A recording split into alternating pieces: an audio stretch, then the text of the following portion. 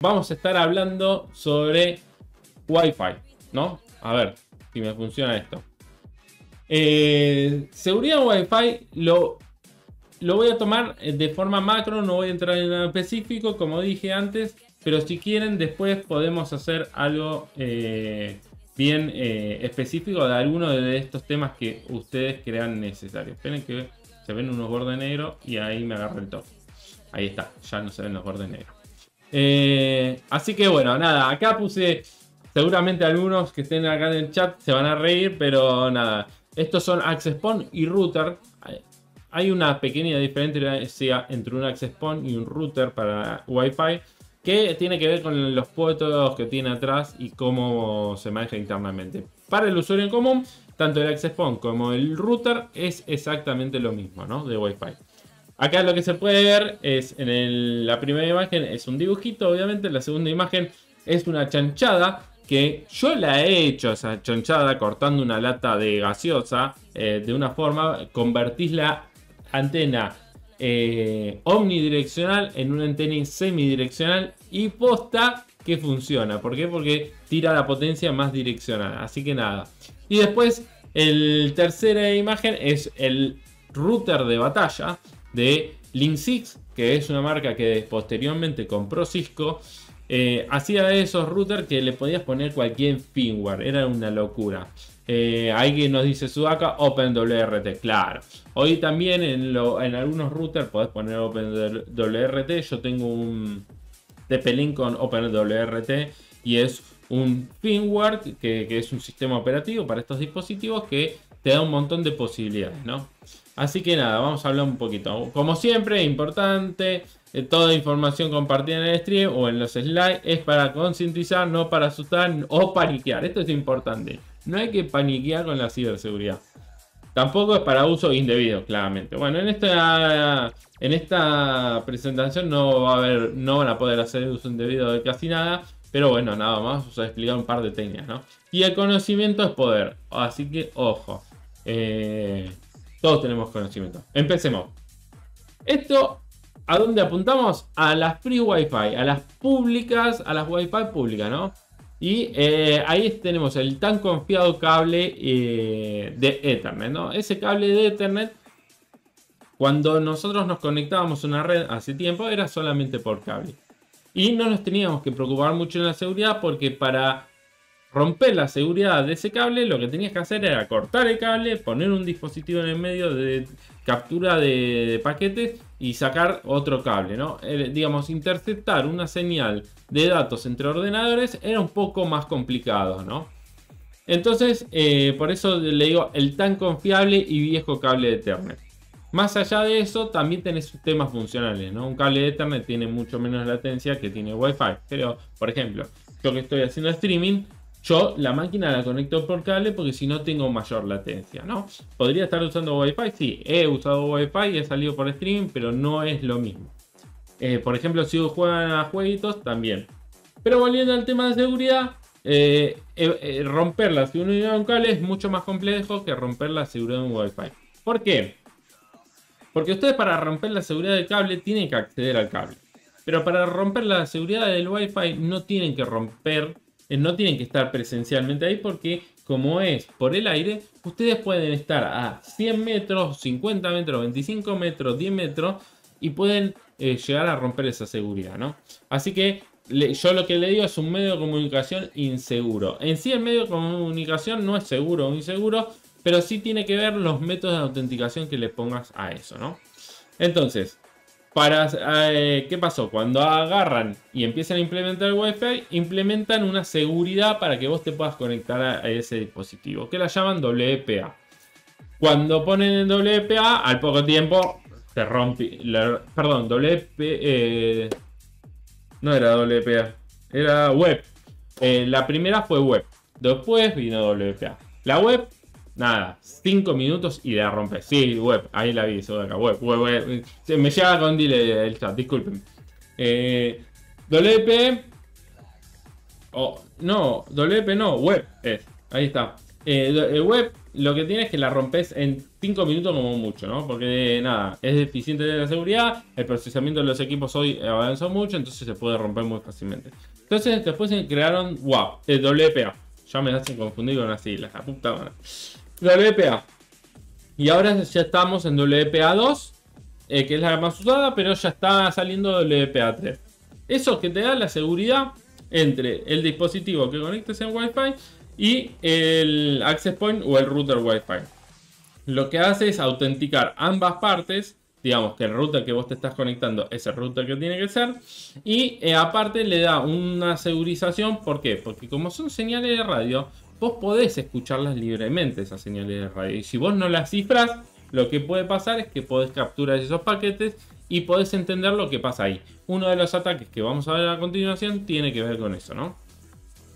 Eh, hoy por hoy, eh, con el Evil Twin, en dos minutos ya lo liquidas el web, claro. Yo me divertía con Wi-Fi, Wi-Fi Slacks, sí, eh, la distribución de, hecha con Slackware para Wi-Fi, ¿no? En la época de web, claro.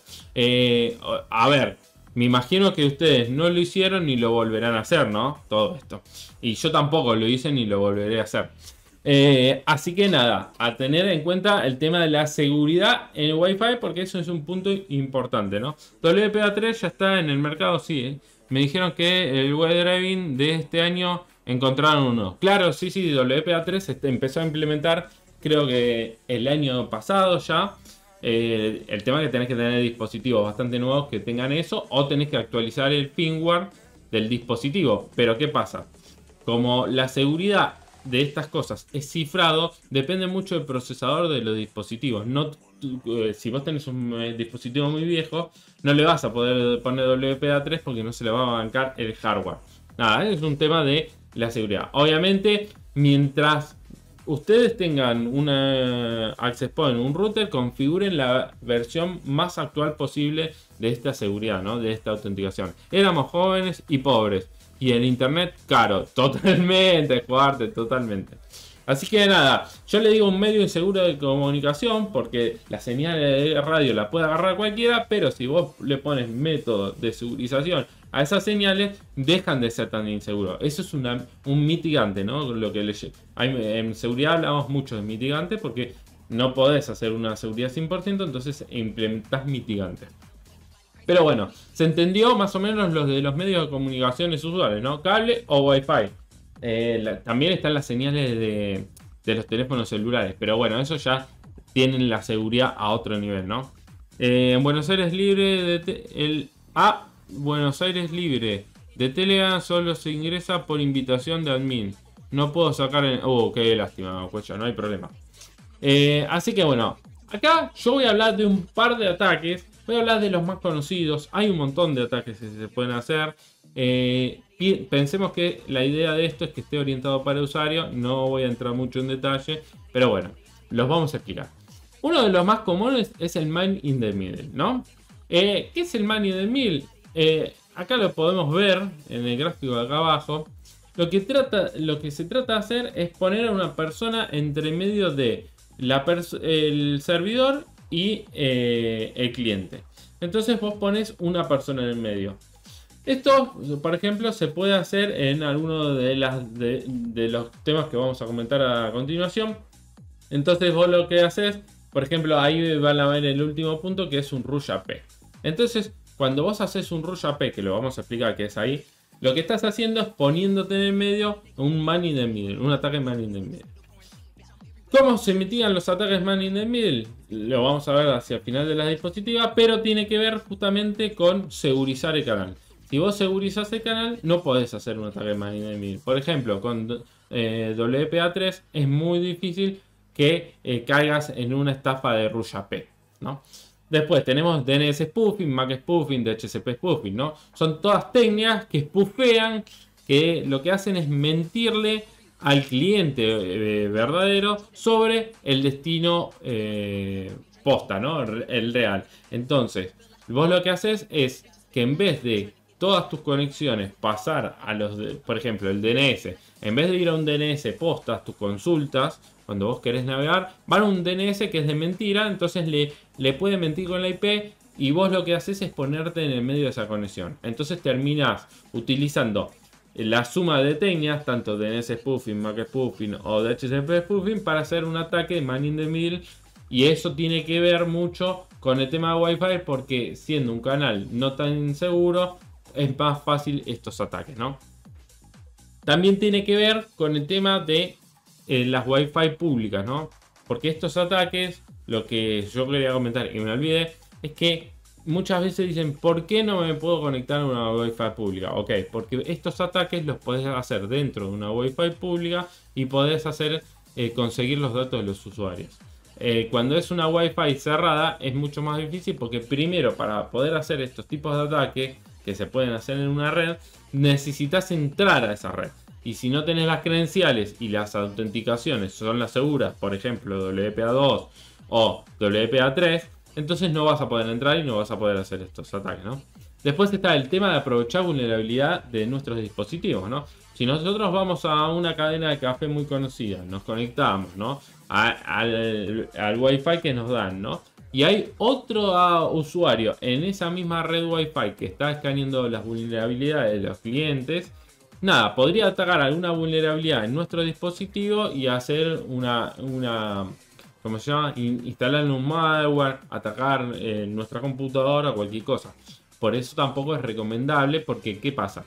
Estamos en un medio que es público y puede haber cualquier persona. Es más o menos como que agarren una computadora insegura y la conecten a internet y bueno, en 10 minutos se la van a voltear. Esto es más o menos lo mismo, ¿no?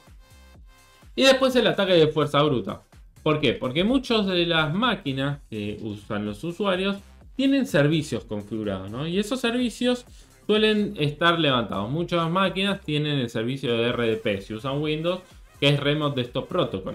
Entonces, ¿qué pasa? Cuando vos estás eh, conectado a una Wi-Fi pública, ese, ese, ese atacante lo que puede hacer es atacar con diccionarios a tu RDP y conectarse. Entonces por eso es importante no, no estar conectado a la Wi-Fi pública porque pueden, todos estos ataques se pueden hacer sin ningún problema, ¿no? Sepa cómo evito que los ataques de Dead Authentication con no MCU o algo a bajo nivel. Eh, igual eso es una pregunta muy específica, la podemos tratar X41, 41, 41, pero eh, nada, son, a ver, ¿qué, hacen? El de Authentication, no quiero entrar mucho en esto, pero lo que hacen es, te desautentican de tu access point real para que te conectes a un Rush AP o un Fake AP, que es lo que vamos a hablar después a continuación. Y eh, puedan, eh, ¿cómo se llama? te desautentiques del real y te autentiques a este trucho. Y cuando te conectas a este trucho, te capturan todo el tráfico, hablando fácilmente. Cuando el problema de no de MCU y todo eso es que es, algo complicado el, tema de eso, porque no, no hay mucho. Lo único que puedes hacer es tratar de usar WPA3, que los ataques de autenticación son mucho más difíciles, ¿no? Porque no, no le va a dar a cualquiera bola. Pero bueno, nada, después si quieren entramos a específico en eso. Eh, Linset no hacía eso. Ah, no sé, Emi, puede ser, sí, sí. Le pegas un soplamoco al que veas sospechando, mirando su reloj todo el tiempo y listo. Sí, o alguien que le ves una antena, ¿no? Ni se, ni se sigue, eh, ni sé si eh, sigue existiendo. No, no conozco a Emi, yo. Eh, bueno, después tenés packet sniffing, que es cuando vos estás en una red lo que podés hacer es pones tu placa red en un modo promiscuo, entonces podés capturar todos los paquetes que pasan por esa red. Entonces hay paquetitos que a veces las computadoras tiran en, una metodología que se llama broadcast que lo tiran a toda la red. Entonces vos ahí podés snifear, capturar esos paquetes y pueden llegar a tener algo de, de información importante. Por ejemplo, información de NetBIOS, o, eh, por ejemplo, vos cuando haces un pedido de IP, o perdón, o de DNS o de proxy, lo podés hacer con esos mensajes brocas. Entonces, vos podrías agarrar haciendo paquete sniffing esos paquetes, contestarle que vos sos el, el DNS o el proxy y le estás insertando una mala configuración a un dispositivo de un tercero. y eso puede provocar un ataque, ¿no? Y el último, que eh, ya lo hablamos porque tiene que ver con los otros que hablamos, es el Rush, AP o el Fake AP. ¿Qué hacen estos plaquitos? Acá en el gráfico de arriba a la derecha, lo que hacen es, agarran, vos tenés un Wi-Fi real, ¿no? Yo, por ejemplo, tengo acá el de mi casa. Y viene otro, otro y copia el SSID. ¿no? El SSID es como ustedes vieron cuando buscan una red Wi-Fi. Bueno, ese es el SSID que aparece el nombre. Bueno, ese es el identificador. Entonces, ¿qué hacen? Ponen un router o un access point con el mismo nombre, pero lo que hacen es que estén más cerca del objetivo. Más eh, cerca del objetivo. ¿Para qué? Para que cuando el sistema operativo busque, se trate de conectar a este eh, RUSHAP. Una de las líneas que hay es a ese RUSHAP le pones un método de autenticación parecido al real. Entonces, cuando se quiere conectar, si vos usas WPA2, lo que va a hacer es va a decir, ah, bueno, no tiene, no es el mismo, porque lo que va a cambiar ahí son las marcas de los equipos, seguramente, ¿no?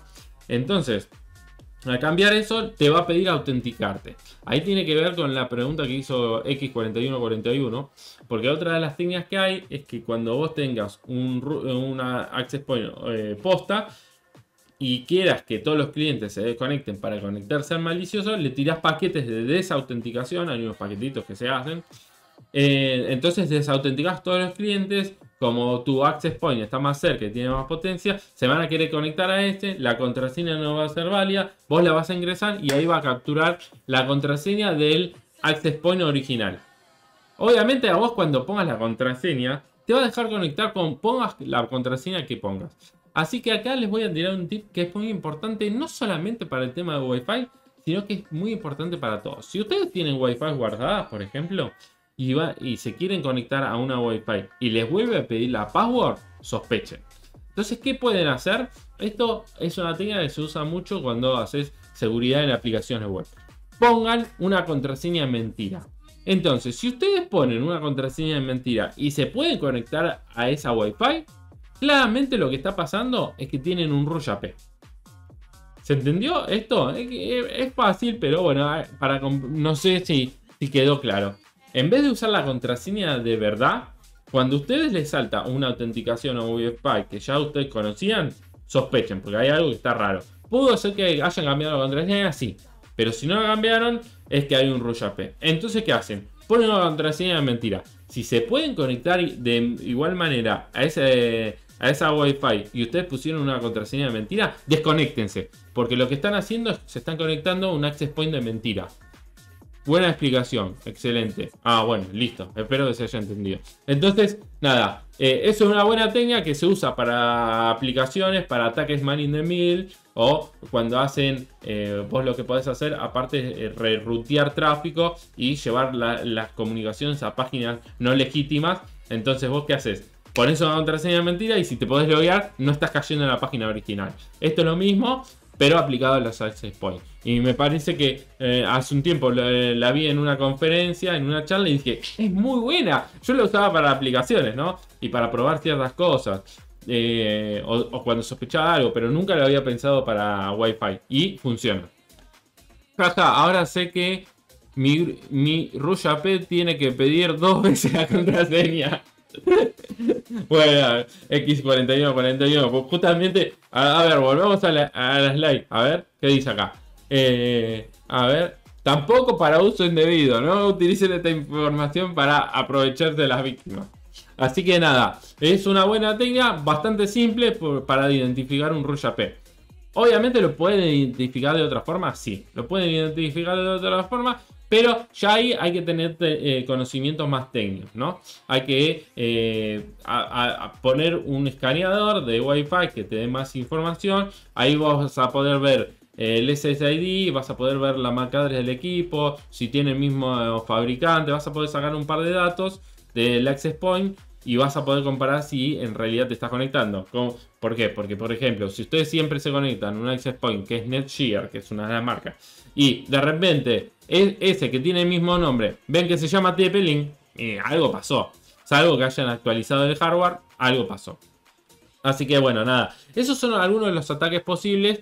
Y eh, tiene dos cosas. Esto es. Eh, acá yo eh, dije en un momento, uy, estoy mezclando cuando es un Wi-Fi de mi casa y cuando es un Wi-Fi público. Sí, lo estoy mezclando, pero ¿por qué? Porque los ataques son más o menos iguales. ¿eh? Entonces, para un Wi-Fi público, todos estos ataques se pueden hacer y por eso la, recomendación es no conectarse a un Wi-Fi público. Y eh, el otro aspecto es que si tenemos un Wi-Fi nosotros, pueden usar un método de estos, por ejemplo el de Ruyas BDP, y concatenarlo a otros para después invadir nuestra seguridad de nuestra casa. Así que, ojo. ¿Qué puede pasar? No? Que acá es un poco lo que estábamos hablando, pero lo quiero llevar a cosas más eh, sólidas. Em, sí, se ve bien. No, perdón, estaba, me taré porque dije no sabía si se estaba viendo bien el slide. ¿Qué puede pasar? Robo de credenciales del de, Wi-Fi real, ¿no? Como hablábamos antes, con un Rush AP lo que pueden hacer es invadir nuestro Wi-Fi, que es la última columna, refiere a qué, a qué Wi-Fi puede ser, ¿no? Entonces, en un Rush AP lo que pueden hacer es el robo de nuestras credenciales, como dijimos antes, ¿no? Eh, del Wi-Fi real. Entonces, una vez que roban los datos del Wi-Fi real, lo que pueden hacer es invadir la privacidad de nosotros. ¿Se entiende? Entonces, ustedes en casa eh, tienen la notebook y se conectan siempre al Wi-Fi de su casa y un día le piden autenticación, tengan cuidado. ¿Por qué? Porque si se conectan a este Rush AP, que puede ser un vecino levantando un AP, ustedes ponen la contraseña y ya ese vecino tiene acceso a, vuestro Wi-Fi. Y al tener acceso a nuestro Wi-Fi puede hacer todos los otros ataques que son comunes para empezar a capturar tráfico de ustedes. Eh, ¿Qué pasa? Esos ataques que mostré que son los más comunes, porque hay un montón de ataques más que se pueden hacer, se pueden hacer también en redes cableadas. Pero bueno, no, quiero entrar. El tema es que para hacerlo en una red cableada tenés que ir y pincharle el cable. Por eso no hablo sobre eso. Robo de datos de usuario, ¿no? Con el in the mill, con un phishing, con un packet sniffer, con un DNS spoofing. Todo eso nos puede afectar en un Wi-Fi público, ¿no? Ahí son todos los ataques que vimos antes porque eh, puede pasar en un eh, Wi-Fi público y qué es lo que puede pasar. La consecuencia es que puede haber un robo de, datos del usuario. Robo de datos del usuario me refiero a todo. Eh, credenciales de acceso a una página web, cualquier cosa, ¿no? Si mandan un mail también puede ser, porque el mail no es un medio seguro. Gracias ahí por el follow, Seba Yuko, bienvenido. Así que nada, eh, mucho cuidado con el, tema de la Wi-Fi pública. Y acá hay otro tema que es interesante, que es la instalación de malware. Acá hay algo que seguramente el genio de, ese cerrado ya lo habló en su charla de Incident Response, eh, que tiene que ver la concatenación de cosas, ¿no? Porque la concatenación de cosas es lo que lleva a, a que un ataque se complete, ¿no? Porque a veces un ataque Puede ser una sola cosa, digamos, aprovechar una vulnerabilidad y eso termina en un ataque, pero la, concatenación de ataques suele dar resultados más jugosos. Eh, más jugosos para el atacante, no para nosotros, claramente. Entonces, ¿por qué hablo de la instalación de malware en, en un Wi-Fi público? Porque imagínense que ustedes tienen su máquina que no actualizaron eh, no pusieron los parches de Windows. Hablo de Windows porque seguramente muchos de ustedes, de los que vayan a ver este video, son Windows. O su Mac o su GNU Linux, ¿no? Eh, entonces, no lo actualizan y tienen una vulnerabilidad, ¿no? Y esa vulnerabilidad se la pueden explotar. ¿Por qué? Porque cualquier otra persona que esté conectada a esa misma Wi-Fi pública puede, ya tiene contacto directo con vuestro dispositivo. Entonces, aprovechan esa vulnerabilidad para instalarle un malware, para hacer una ejecución remota de algún código o algo por el estilo. Entonces ustedes de repente se conectan a un Wi-Fi público y que se llevan de regalo, no el café, se llevan un malware instalado en su máquina. Entonces, una vez que ustedes salen de ese Wi-Fi público que lo usaron para hacerle una llamada por WhatsApp a alguien y no querían usar datos, le termina costando caro porque a cambio se llevan un malware instalado que eso le da acceso a ese atacante no solamente cuando estén conectados a ese Wi-Fi público, sino que cuando se conecten a cualquier tipo de red. Cuando vuelvan a su casa pueden infectar toda su red. No paniquen. Obviamente esto, este ataque, la concatenación de ataques que estamos comentando, es difícil, no es fácil. Obviamente. Pero, a ver, si ustedes se los ponen entre ceja y ceja y se lo quieren hacer, se lo pueden hacer.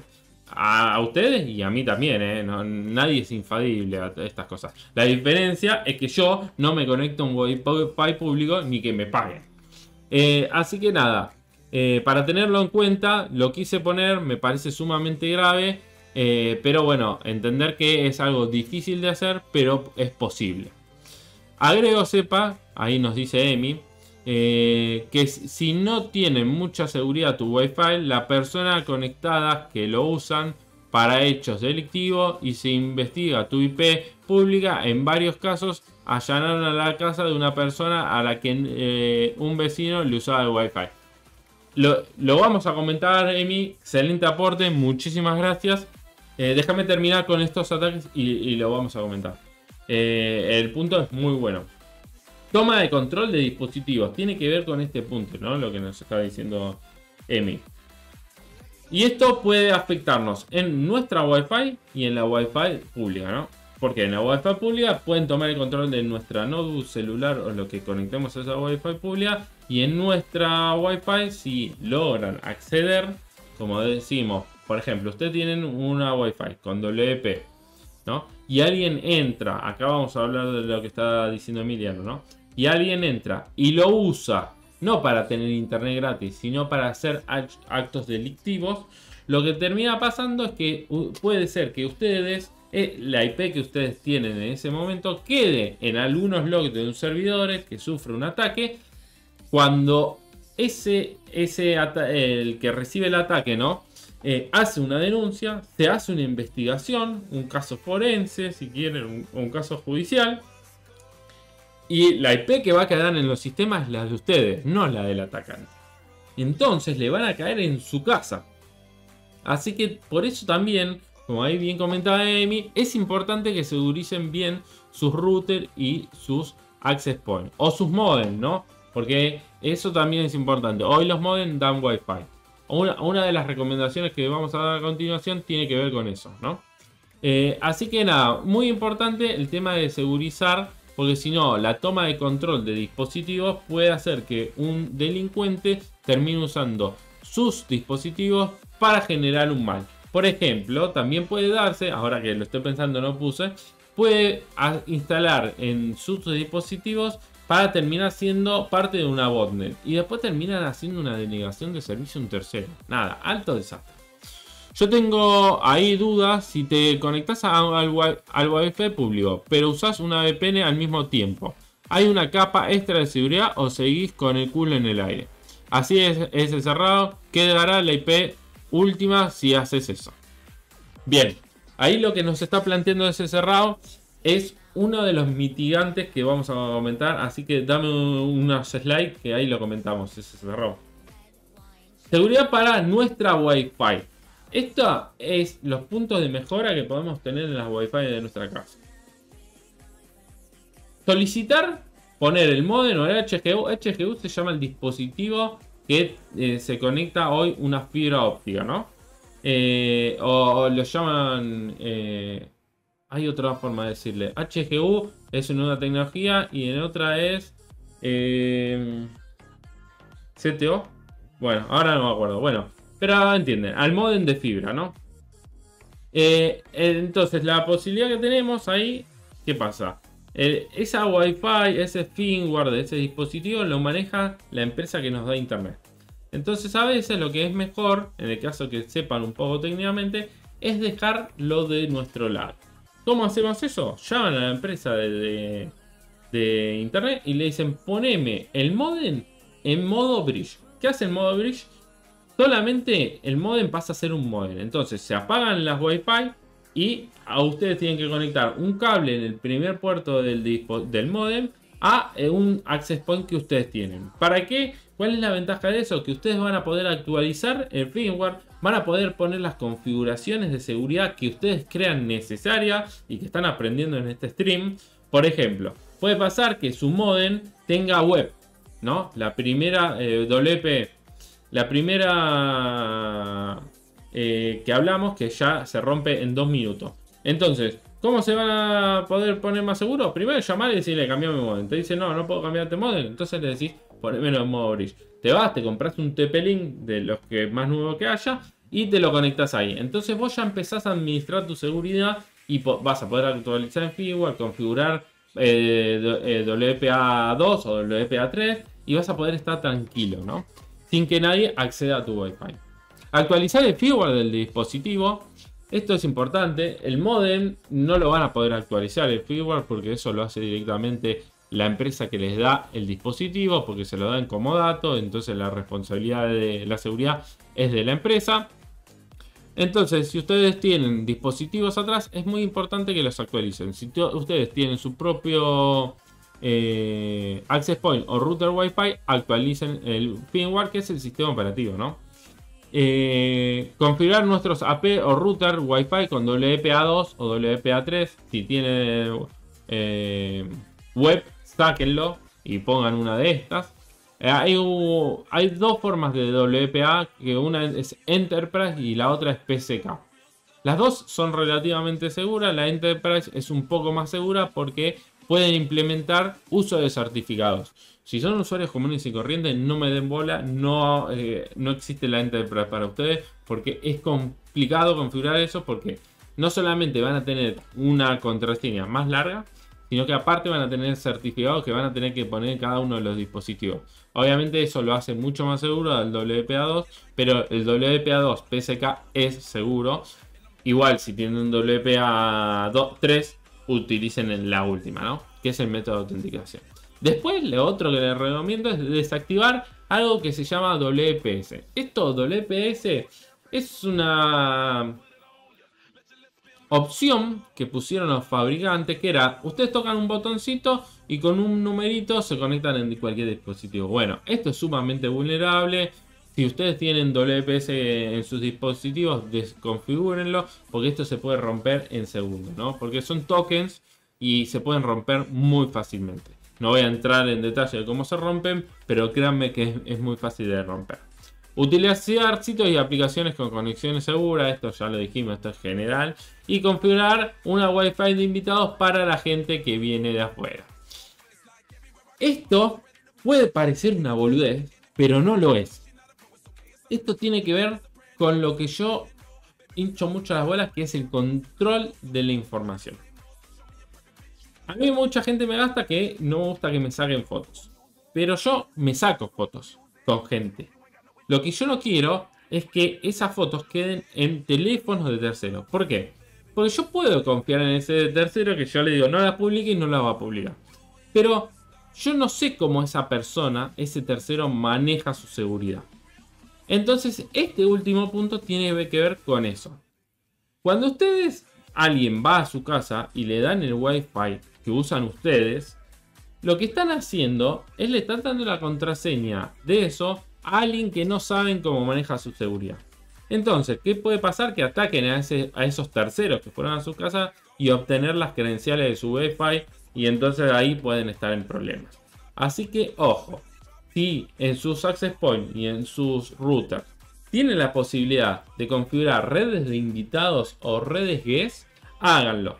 Y aparte, la red guest lo que tiene de ventaja es que va a aislar en la mayoría, perdón, en la mayoría de los dispositivos bailar los dispositivos que se conecten en la red guest, que son gente invitados que no conocen cómo manejan su seguridad, a la, red, a la red que ustedes usan. Entonces, sus dispositivos y los dispositivos de los invitados van a estar separados. Los invitados solamente van a poder salir a internet, que eso va a ser un problema por lo que comentaba Amy, porque si un invitado viene y hace un acto delictivo desde su IP, los que van a caer presos son ustedes.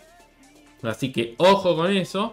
Lo que les recomiendo es que si usan redes guest, cambien las contraseñas cada 2x3. Así que nada, esto es una buena metodología. Yo, por ejemplo, en mi casa tengo una red de invitados. Y aparte, como soy un extremista de mierda, que está mal, lo que hago es activar y desactivar esa red. Cuando viene un invitado, activo la red de guest, le doy una contraseña, esa persona va a poder usarla tranquilamente mientras que está en mi casa, esa o estas personas. Y después cuando se van, desactivo y la próxima vez que la activo para hacer a alguien, cambio la contraseña. Nada, eso ya es de, extremista. Pero bueno, es importante tenerlo. Vamos a leer un poquito el chat. Creo que tengo la del chat acá, pero no sé si carga. Ay, había... A ver, pongo así, no. tienen que chatear para que cargue. Eh, después tengo que ver esto, cómo mejorarlo, porque si no, no, no aparece. A ver, yo se los leo, no hay ningún problema. Eh, perdón, me adelanté, mala mía. No, no pasa nada, ese cerrado. Ustedes vayan hablando en el chat, yo los voy leyendo. Eh, lo estamos spoileando todo, dice Emi. No pasa nada, no pasa nada, chicos. Las empresas no te dejan hacer eso. Va, no siempre. Sí, Mati, te dejan siempre, ¿eh? Yo tuve todas las empresas y todas me dejaron poner en, modo bridge. No, no, no te lo pueden prohibir eso, ¿eh? Te tiene mismo vos le decís, dame de baja el wifi. O por ejemplo, otra de las cosas que pueden hacer es, hoy muchas, hay dos bandas que se usan, 2.4 y 5. Pueden llamar y decirle, dame de baja el, ¿cómo se llama? El Wi-Fi 2.4 y te queda solo la 5. Eh, ¿Por qué? Porque hay menos gente escaneando eh, la 5 que la 2.4. Nada, son todas cosas que se pueden hacer porque yo lo he hecho y no he tenido ningún problema. Eh, Fivertel te deja y Telecentro también. Y Plan también te deja. En su momento Telefónica no dejaba, ahora no lo sé. Sí, eh, Movistar te deja. Ahora con fibra no te deja. Mismo lo he hecho. Hacer eso igual modifica configuraciones de router. Hacer eso modificar continuaciones de router. Claro, no, pero el router es tuyo, así que vos tenés todas las libertades. Lo que pasa es que si vos no pones en modo bridge tu modem, vos no vas a poder tocar ninguna configuración del modem. Porque el modem ese pertenece a la empresa que te da servicio. Entonces una de las cláusulas es que vos no podás tocar la configuración. Por eso la idea, uno de los puntos era pedir a la empresa de, internet es que te ponga en modo vos pones tu propio dispositivo y ahí nadie te puede decir nada. Eh, te lo cambian automático ellos desde el modo bridge, desde la central. Sí, sí, totalmente, eso lo, lo puedes hacer. Eh, le están dando la llave de su casa, básicamente. Claro, este es el problema con el tema de las claves, ¿no? Darle la clave es la llave de tu casa. A ver, voy a probar de vuelta. Si se puede ver el chat ahí. Perdón que los estoy volviendo loca. Pero quiero ver si se ve el chat. ¿Ven? Ahí se ve el chat. No sé por qué apareció. Eh, perder cuidado que en un análisis forense se investigan a todos los que aparecen en las fotos en casos de cibercrimen y ciberdelito. Gracias, gracias, Emi. Me dejas re tranquilo. Hay que tener cuidado en los depósitos que. En los depósitos que estamos. Sí, ni, me hable, que ni me hable. Ah, así que bueno. Test. Ah, bueno, el mensaje test yo. Hola mundo, faltaría. Eh, te hacen alguna, pero desde la red de invitados, desde la parte forense, no pueden aislar los dispositivos por los logs y saber el autor del ataque estaba en la red de invitados, pero desvincularon un poco el dueño de la red. Sí, eh, eso sí se puede hacer.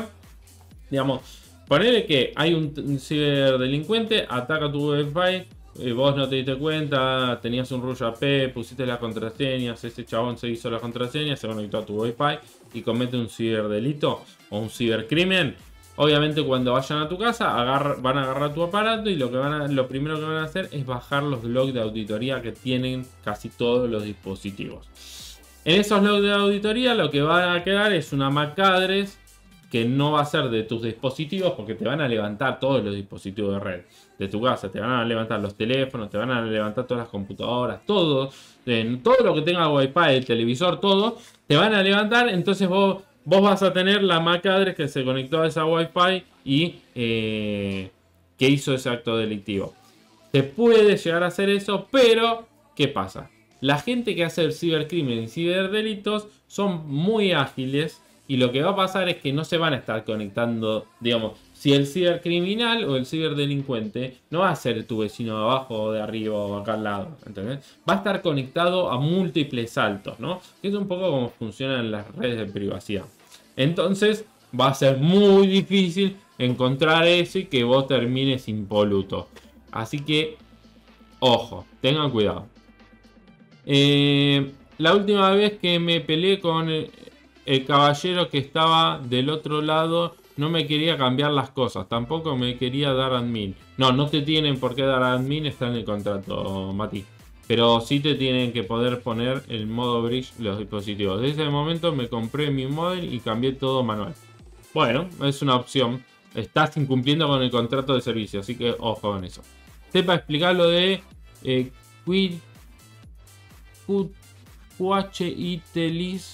hogareñas y los firewall hogareños que podés hacer. No, no entendí, eh, cuello, disculpa. No sé qué es eso. H, e, Q, H, Interlist. No tengo ni idea. Eh, igual no voy a entrar, como dije, en temas muy específicos porque esta charla es para usuarios básicos. Eh, piensen que sus viejas, sus abuelas, sus padres, sus hermanos, gente que no está en cosas. No vamos a entrar en cosas. Hay un montón más de cosas técnicas que podemos explicar con esto. Sí. No quiero entrar en eso porque terminaba haciendo un stream de 6 horas. Eso lo puede ser muy útil porque veo que ya muchos entendieron, me parece. Pero el allanamiento te lo morfaste igual. Sí, bueno, eso te lo morfaste igual. Por eso es importante que para no morfarse un allanamiento, ustedes configuren bien el tema de eh, WPA2, que es el método de autenticación. WPA2 o WPA3. Lo otro que es importante, que no lo dijimos, es la extensión de la contraseña. Traten que sean bastante extensas, que tengan caracteres especiales también. El problema de los caracteres especiales es que cuando las tipean en un teléfono se van a volver trolos hasta encontrarla. Eh, hay un chico que dio una charla en la ECO y lo, allanaron justo después de eso. Resulta que tenía un nodo Tor y detectaron tráfico hacia sitios pornográficos infantiles. Ese cerrado, ese es otro tema que lo podemos hablar y es un tema muy interesante porque el tema de usar Tor podés terminar en una de esas. El problema de todo eso es que, bueno, nada, es un tema legal. Wiley, perdón, dislexia. No, pero Wiley es que, por macadres. No, eso no va más, ¿eh? Porque la clonación de macadres es lo más estúpido que hay. Eh, no sé si estás diciendo eso, pero clonar una macadres hoy te lleva 5 segundos. Pues porque vos eh, cuando, cuando usás Wi-Fi podés ver todas las macadres que están desconectadas a un, dispositivo. Si pones listas por macadres, tarda 5 segundos. Después se demostró que no tenía que ver, fue el año pasado. Sí, eso, ese cerrado ya pasó varias veces. Y hay que... Bueno, vamos a tener, si quieren lo hablamos en especial, pero hay mucho para cortar ahí. ¿eh? Em, eh, porque cuando vos usas Tor, vos también estás siendo una parte de la red. Y es como que te estuvieran usurpando tu Wi-Fi. Eh, ah, ok, ok, no dije nada. Hacer las listas de dispositivos por Mac. Ah, no, no, no. Eso question ya no, no sirve más. Eso servía antes, pero hoy con cualquier escaneador lo pones y vos ves. Podés seleccionar el SSID y te dice todas las MAC address que están conectadas a ese, a ese router. Así que nada, empezás a clonar y te autenticabas de todo. Un chico de Dreamlabs era, no recuerdo su nombre. Ah, Conozco varios que trabajan ahí. Eh, ¿Te dio charla? ¿O no? Hay chicas también que trabajan ahí, que conozco. Eh, pero bueno. Seas, seas ISO, VP o lo que seas de ciberseguridad, si incumplís una norma del contrato con el proveedor de internet, ya sonaste. Encima es peor porque sabes lo que estás haciendo. En teoría sos consciente. Claro, bueno, sí, totalmente. Eso sí, cuando sos consciente es peor. Cerrado es para todo. para toda una charla ese tema, sepa. Sí, totalmente. Súper interesante lo de los nodos Tor. Sí, sí, sí, súper interesante. Y podemos hacer. Yo ya di una charla de DAR y Deep Web. El, no entré en detalle de cómo funciona, pero podríamos explicarlo. Yo yo ya vi varias charlas, sé bastante cómo funciona. No soy para nada experto, estoy muy lejos de ser un experto, pero el concepto básico lo tengo. Y podríamos hablar, y podríamos hablar de los riesgos de participar de esa red. Aunque, bueno, nada, no es tan riesgoso tampoco. Eh, el tema de speakers que después los investigan o les hacen un allanamiento reda para que hagan otro especial. Sí, bueno, eso es cualquiera. O la gente que investigó el voto electrónico. Eso es no, mejor no hablemos. De Chile, si no dio charla el año pasado. Ah, de Chile. Mm, ay, no sé los no, el nombre de los de Chile. Bueno, seguimos con la presentación, así no nos estiramos más, porque si no el video va a quedar 6 horas. Mitigaciones para redes Wi-Fi público, ¿no? Póngale que ustedes A ver, vamos a poner una situación. Se van de vacaciones, ¿no? Están de vacaciones, se fueron a otro país. Habían acordado con su empresa de telefonía de tener roaming, pero no anda. Y están en otro país. Y eh, se van a comer a un restaurante y dicen, bueno, tengo que usar la wifi del restaurante, ¿no? ¿Vieron? Y ahí se acuerdan del boludo de Cepa, que vieron el stream o el video de YouTube, que le decía, no se conecten a wifi pública. Y ahí se empiezan a parir en el que Bueno, hay formas de conectarse a una eh, Wi-Fi, pública y mitigar un poco los riesgos de que nos pasen algo. ¿Por qué? Porque tampoco podemos ser tan extremistas, digamos. Yo eh, puedo no aceptar que me saquen fotos de los demás, pero tampoco voy a dejarme de sacar fotos con mi celular o voy a dejar de hacer el streaming, que es lo que me gusta, poder compartir conocimiento y todo eso, para, por ser extremista, porque te terminas volviendo un ermitaño, te aislas de todo y bueno. Con la seguridad pasa lo mismo, no puedes ir de extremo a extremo. Entonces esto es lo mismo. Entonces nos encontramos en esa situación, estamos de vacaciones en un país, en el exterior, no tenemos roaming de celular y necesitamos comunicarnos por algo. No sé, tuvieron problemas con la tarjeta de crédito y no tienen plata de efectivo y están en un restaurante y tienen que comunicarse con alguien. Situación que puede pasar, porque viviendo en Argentina, problema de la tarjeta en el exterior puede pasar, y, no teniendo roaming puede pasar. Así que, nada, y tienen su notebook. Y dicen, bueno, me tengo que conectar a una Wi-Fi. Se conectan a la Wi-Fi del restaurante. Entonces acá pueden mitigar de alguna forma la problemática. Una de las primeras cosas que pueden hacer es utilizar Tor. Ahí entra el tema que ese que estábamos hablando en el chat, no vamos a entrar en detalle. Eh, lo van a usar un ratito. ¿Qué hace Tor? crea unos enlaces tipo VPN que lo que hace es asegurarle que su navegación desde el navegador, vuelvo a aclarar, desde el navegador, porque hay otros puntos que eh, hablan de toda la otra seguridad, porque la seguridad no es única, sino acá estamos hablando de la seguridad del navegador, para poder navegar a una página. ¿Qué pasa? A través de la red de Tor se conectan y van a poder llegar de una forma segura. Obviamente no les recomiendo que por ejemplo levanten Tor y se conecten al banco. Sino por lo menos hacer una llamada, buscar algo tranquilamente por internet sin que les puedan interferir esa conexión de internet. Con Tor van a hacer eso. La otra es utilizar una VPN. Entonces, ¿qué hacen? Se conectan a Wi-Fi, levantan la VPN y ya por lo menos pueden asegurarse que el todo, todo el tráfico que salga por la VPN, nadie que esté en la misma Wi-Fi pública va a poder revisar su tráfico. Entonces, varios de los ataques que ahí comentamos no van a funcionar. Eh, por ejemplo, el tema de paquetes sniffer. No van a poder snifear los paquetes porque van a estar todos cifrados. O si hay sitios no HDPS, no pasa nada porque van a estar entrando del túnel de la VPN y va a estar cifrado. Hay otros ataques que podrían funcionar como el DNS spoofing, pero bueno, muchos clientes de hoy en día de VPN ya prevén esas cosas, entonces no habría mayores problemas. Y después otros ataques están mitigados, no están resueltos, están mitigados. Entonces, esa es otra de las opciones. Lo que sí es importante es que si se van a conectar a una Wi-Fi, pública, revisen tanto en sus celulares como en su computadora que el firewall esté instalado y activo. En Windows es muy fácil. Todos los Windows, aunque no lo sepan ustedes, tienen firewall. Antes no pasaba, hoy sí. Tanto en 10 y 11 tienen un firewall instalado. Lo único que tienen que ir es buscar Firewall, tocan en la tecla Windows o hacen clic en el botón de inicio, que es la ventanita, no sé cómo es ahora. Ponen Firewall, van a entrar, van a parte de reglas, se fijan que lo que diga input esté en drop, que en realidad es un circulito rojo que prohibió, y se fijan que esté eso. Cuando está eso, lo que va a pasar es que ese firewall los va a prevenir de todas conexiones de todas las personas que estén en esa red hacia algún servicio que tengan en su máquina. Entonces van a estar un poquito más seguros. Después lo otro, que ya lo hablamos, es tener todo el software actualizado. ¿Por qué? Porque el firewall va a estar preveniendo que se conecten hacia ustedes. Pero si ustedes, si llega a haber una vulnerabilidad a nivel sistema operativo y todo eso, se la puede bypassear el firewall.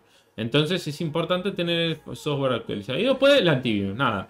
Si usan eh, los sistemas operativos estos privativos, todos tienen antivirus, así que no van a tener, tienen que tenerlo actualizado. Si usan Mac o GNU Linux, no es tan necesario que usen antivirus, pero yo recomiendo usar antivirus de todas formas. Para, por ejemplo, si ustedes se tienen que eh, conectar a Wi-Fi pública, activarlo, dejarlo ahí por las dudas, ¿no? ¿no? tiene nada más. Así que bueno, ahí está el loguito de autor y ahí abajo puse un diseño más o menos como es una conexión VPN, que pasa lo mismo para el caso de Tor, ¿no? Lo que va a estar pasando es que eh, van a estar dentro de ese túnel y todas las personas que estén compartiendo esa Wi-Fi no van a poder ver el tráfico porque va a estar cifrado. En el caso de Tor, tengan en cuenta que solamente lo que va a estar cifrado es el tráfico del navegador. Y en el caso de la VPN, se va a cifrar todo el tráfico. Es más completo.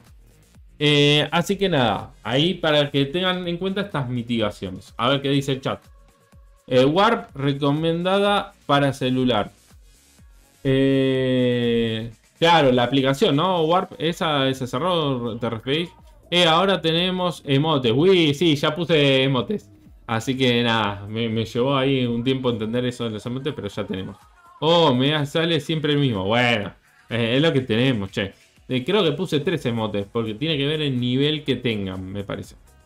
Eh, el chiste de tratar de meter un antivirus en Kali y te borra la mitad del sistema operativo. Bueno, a ver, yo no recomiendo usar Kali como sistema operativo.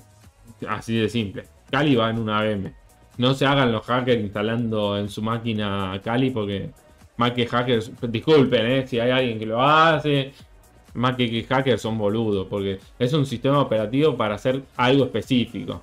Si, lo, si cargan un sistema operativo para hacking, para usar día a día, ahí van a estar complicado. Kali es una VM para laboratorio y nada más. No, para el laboratorio no, no, para todo, pero es una VM. Es como parro, totalmente cuello.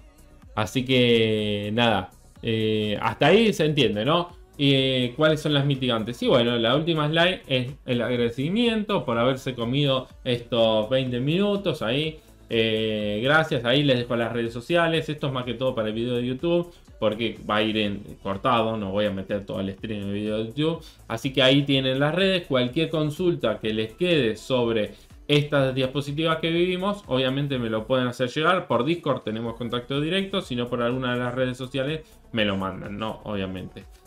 tengo que actualizar, dar el link y listo.